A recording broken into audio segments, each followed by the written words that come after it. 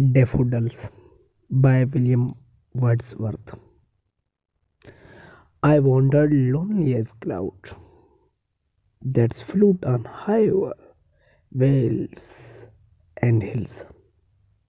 When all at once I saw a crowd, a host of golden daffodils, beside the lake, beneath the trees, fluttering and dancing in breeze, continuous as the stars that shine and twinkle on the Milky Way. They scratched in never-ending line along the margin of the bay. Ten thousand saw I get a glance, tossing, tossing their he- heads in sprightly dance. and sprightly dance.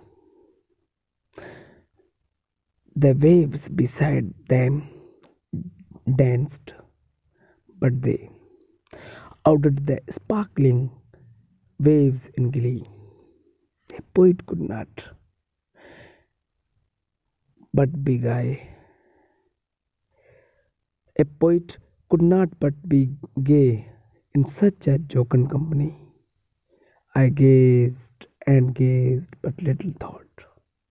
What will the show, what will the show to me? had brought.